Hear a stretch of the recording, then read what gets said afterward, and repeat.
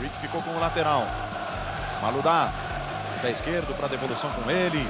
O time do Everton tá bem fechado, mas deixaram o Wright Phillips solto. Ele colocou pro gol! Gol!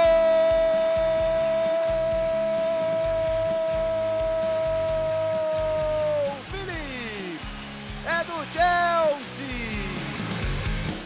McFadden bateu, bola na segunda trave. Hilário falhou. Yacubo!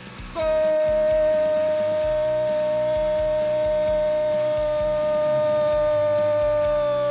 Yacubo! É do Everton! Ibert para na frente dele, Bridge tenta o espaço para bater para dentro da área. Bola vai chegando no Balak. Ele contra o Iogo. Balak levanta. E Wright Phillips toca pro gol! Gol!